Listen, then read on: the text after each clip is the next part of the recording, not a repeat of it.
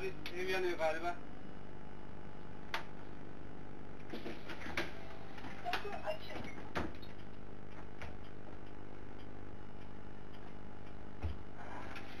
Gidip eder misin? Adamın evi. Yanıyor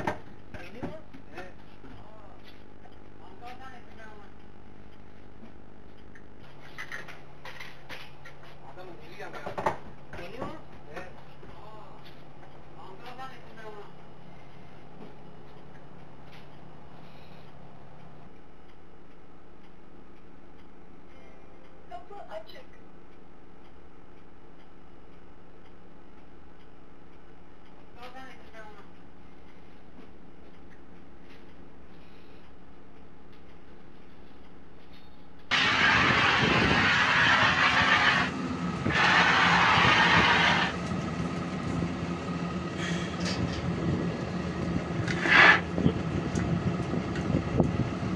Ahmet'i biraz dikkatli olun. Yoldan geçerken gördüm valla. Siz gene burayı bir su tutun.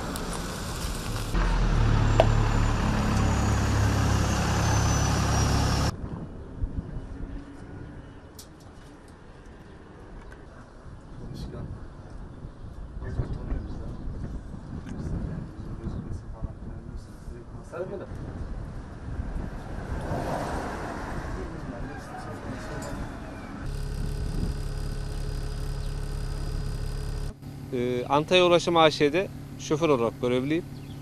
KC 35A hattında durağa yaklaştım. Ee, durakta yolcumu indirdikten sonra karşıdaki evde e, bir duman gördüm. Dumanın e, yavaş yavaş büyüdüğünü gördükten sonra aracımı az bir şeyle ilettirdim. E, yaklaştıktan sonra ateşin olduğunu gördüm. E, ateşin büyüme e, e, çapına gelmek üzereydi. Aşağıya indim emin olmak için. Baktım ateş gördüm. Geri otobüsüme geldim. Yangın tüpünü aldım. Ee, ben hemen yangını müdahale ettim. Evet, ev sahibine kapıya çaldım. Ee, söyledim.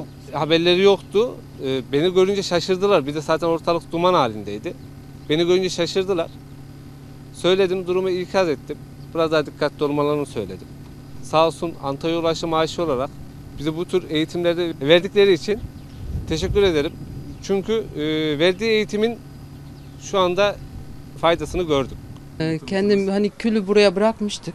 O da zaten hava rüzgarlıydı. O da ateş, alevler falan çıkmış burada. Kendimiz de içerideydik. Farkında da değildik tabii. Ondan sonra sağ olsun arkadaşımız görmüş. Ondan sonra ateşi söndürmüş.